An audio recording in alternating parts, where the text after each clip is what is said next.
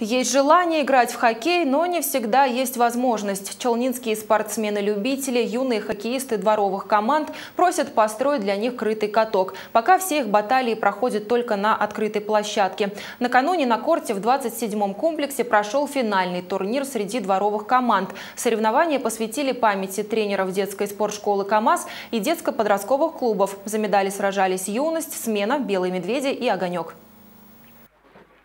Снегопад или дождь – примета того, что вместо клюшек надо брать лопаты и приводить каток в порядок, чтобы поиграть. Погонять шайбу спортсмены-любители могут всего несколько месяцев в году, пока лед не превратился в лужу. У нас зимний период очень короткий. Вот в декабре они начали кататься, только в конце ноября залили каток, потому что были теплые деньки. Вот с декабря, январь, февраль и все, и в марте сейчас вот пойдет теплые деньки. Проведение турниров порой зависит от капризов погоды. Например, во время оттепели или метели качество льда заметно страдает. И играть в таких условиях хоккеистам приходится непросто.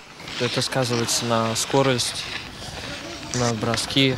Шайба плохо качется. Но накануне погода была благосклонна к игрокам. В звенящий мороз хоккейные баталии становятся жаркими. Сегодня хорошо, вчера не очень было. Тепло было, на улице он таял. По словам хоккеистов, зависеть от погоды перспектива не из лучших. Единственный выход из ситуации – строительство крытого катка. Что ну, все приходили, катались, развивались, учились чему-то новому. Мы не боимся работы, не боимся. Время много уходит на чистку, много. Вот в этом году зима очень такая, как говорят, снег идет чуть не каждый день и по много.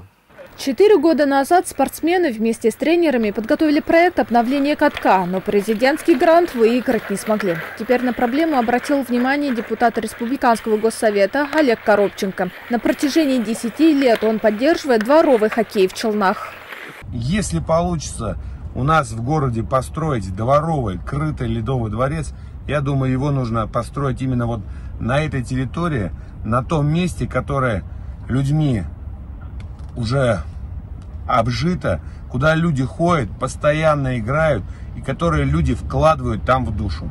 Речь идет о корте в 27-м комплексе. Но пока нет открытого катка, хоккеисты-любители рады возможности поиграть хотя бы зимой и определить сильнейшую команду. Первое место по итогам турнира досталось команде «Огонек». На втором расположились «Белые медведи». Все четыре клуба получили по 10 клюшек, а победители еще и трофей в виде кубка.